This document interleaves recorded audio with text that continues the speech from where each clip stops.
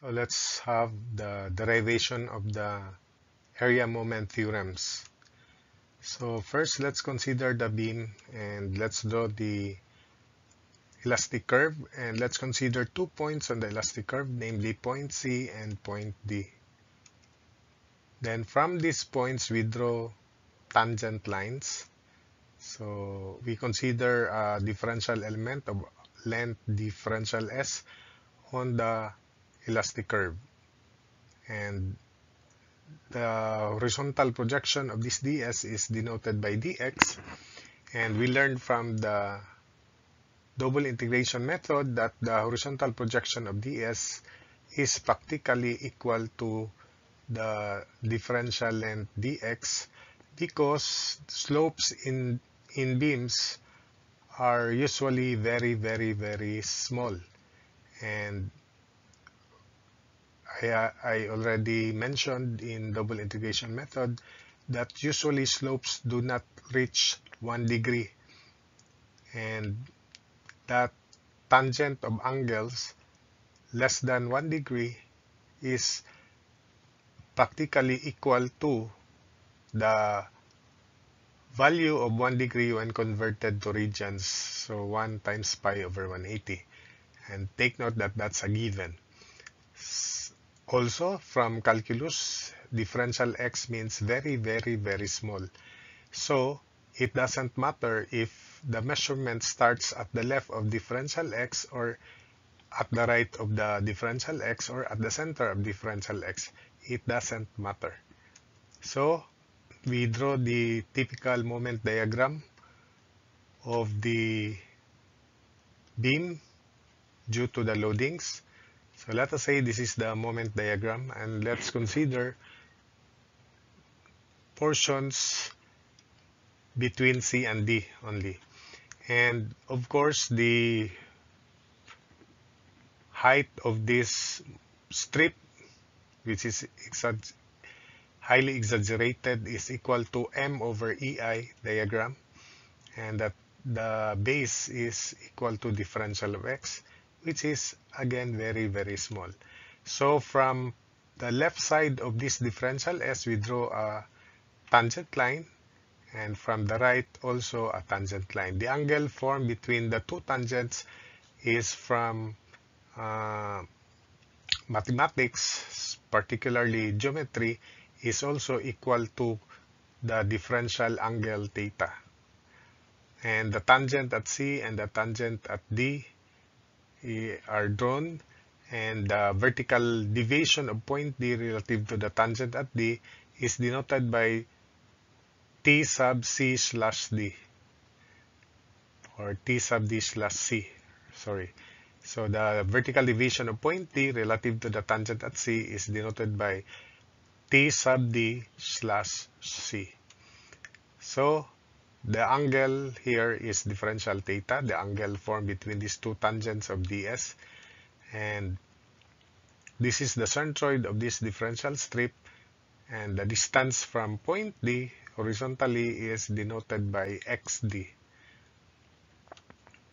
Then this, uh, as I said earlier, that it doesn't matter if the tangent starts at the left of dx or at the right of dx or at the center of dx, it, they are practically the same because as I said, dx is very, very small.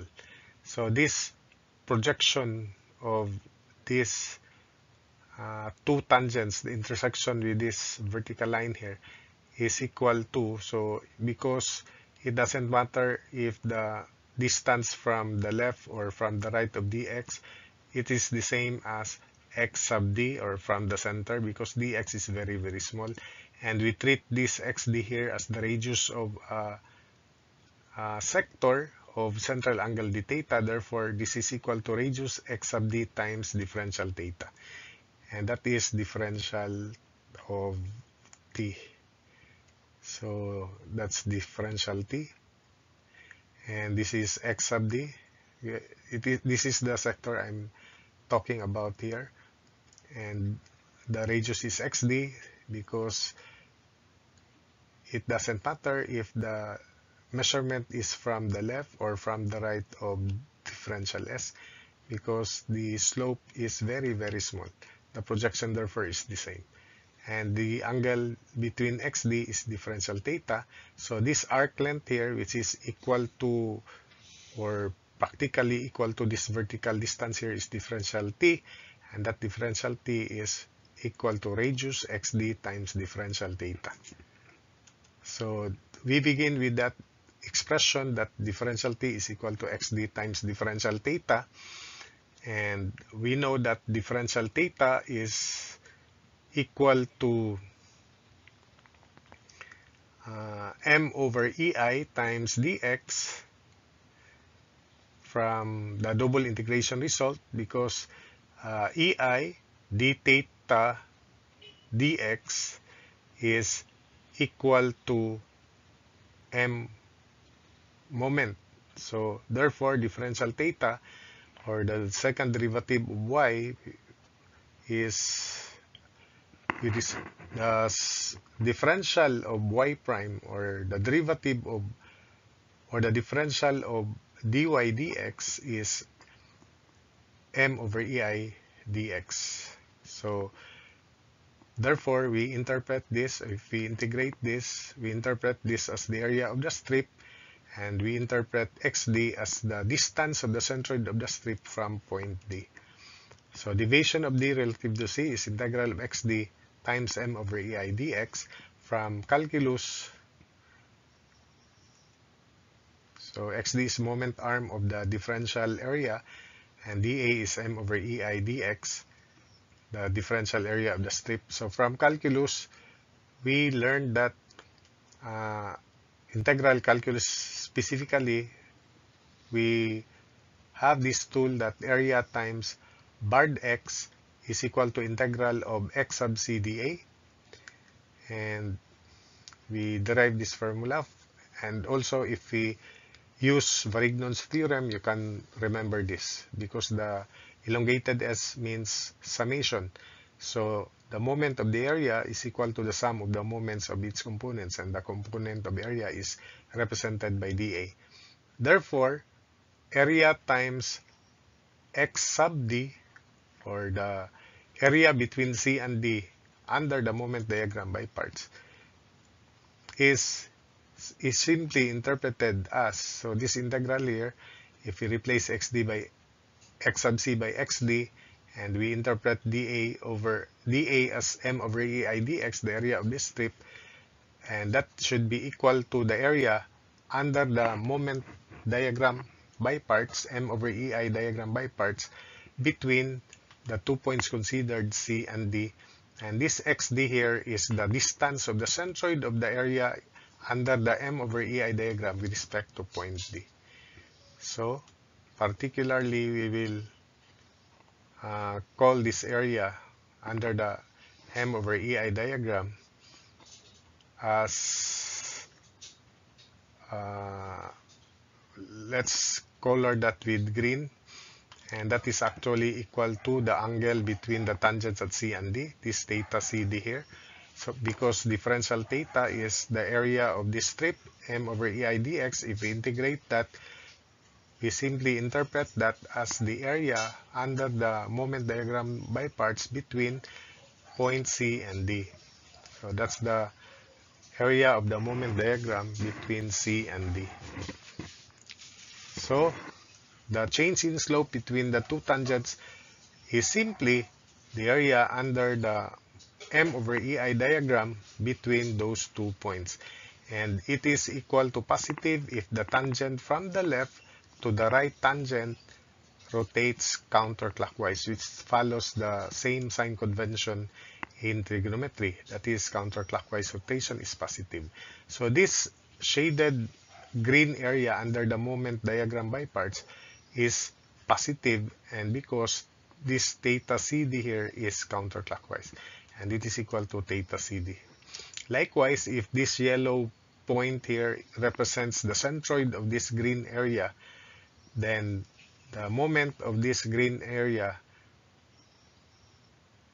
with respect to this point D here, and we will call that barred XD, is simply the deviation of point D relative to the tangent at C.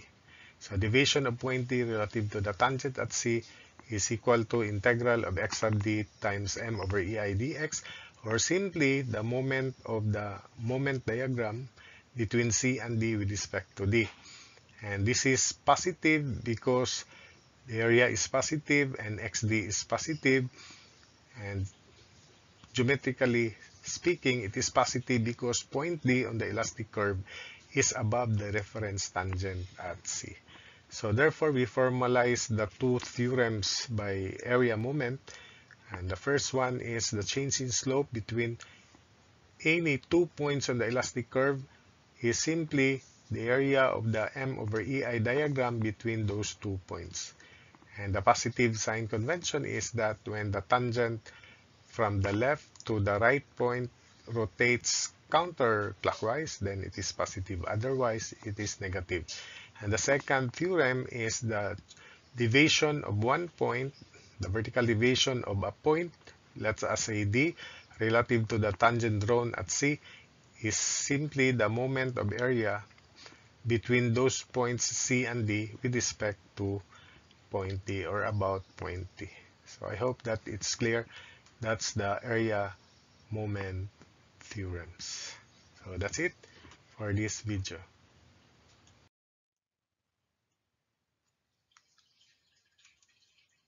So let me explain the area moment method for this beam here. So we have an arbitrary loading and we have a load at the right end, a point load, and the simply supported points on the beam AB. So we have AB here is loaded with any loading.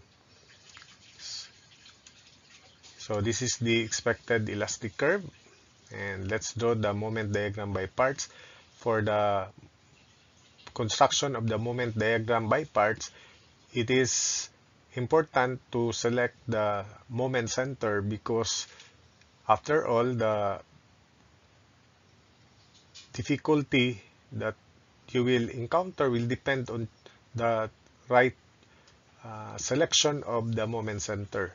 So here the best uh, moment center here is either A or B, but B is better for this case.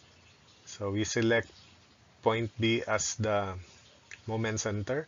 So after computing the vertical reactions at A, then we have to sum up moments about this point B. So this is due to the reaction at A. So we have first degree curve and this is the loading. So this is an nth degree curve in general and due to the moment of the load P about point B, so we have another first degree curve. So from the definition, this is the tangent at A, when then we draw tangent at B. So this is theta AB, which is positive because the tangent from A to the tangent at B is rotating counterclockwise and counterclockwise is positive. So likewise, if we draw the tangent at C, this is the tangent at C. So from the tangent at B, which is at the left, to the tangent at C, which is at the right uh, point on the elastic curve, rotates clockwise, so that is expected negative. So from from this reference tangent A to point B, this vertical deviation of point B relative to the tangent at A is expected to be positive because point B on the elastic curve which remains at its position because this is a support that does not yield or settle uh, is above the reference tangent at A. So that's the reason. Likewise, the deviation of point C relative to the tangent at B because point C on the elastic curve is below the reference tangent at B which is at the left is negative. So by theorem Theorem 1, the change in slope between tangents drawn at two points on the elastic curve is the area between the same points under the m over ei diagram is positive if it rotates counterclockwise. So in this case, the vertical deviation of point B relative to the tangent drawn at A is the moment of area between A and B about point B. So the vertical deviation of B relative to A is expected positive. By the way, the theta AB is positive because from the tangent at the left, which is point A, to the tangent at the right, which is point B, the ro rotation is counterclockwise. This is positive and theta BC is negative, of course. Theta BC is the area between B and C, and this is obviously negative. Theta AB is positive because first degree area is greater than any nth degree area if those are the only uh, diagrams that we encounter. So theta BC is negative as I said because obviously the area between B and C is negative. Then the vertical deviation of B relative to A is positive because B is above the reference tangent at A. The vertical deviation of point C relative to the tangent at B is negative because point C is below the reference tangent at B. So the sign convention, the change in slope is positive if the tangents at endpoints rotate counterclockwise such as theta AB. Then theta BC is negative. Then the change, the deviation, vertical deviation of a point is positive if it is above the reference tangent such as deviation of B relative to A. And deviation of C relative to B is negative. So as another example, we have here, let's draw points here. So call this point 1, point 2, and point 3. So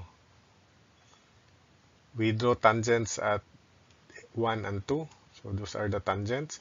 So therefore, the the vertical deviation of 0.1 relative to the tangent at 2 would be expected negative because 0.1 is below the reference tangent at 0.2. Likewise, the vertical deviation of 0.2 relative to the tangent at 1 is negative because 0.2 is below the reference tangent.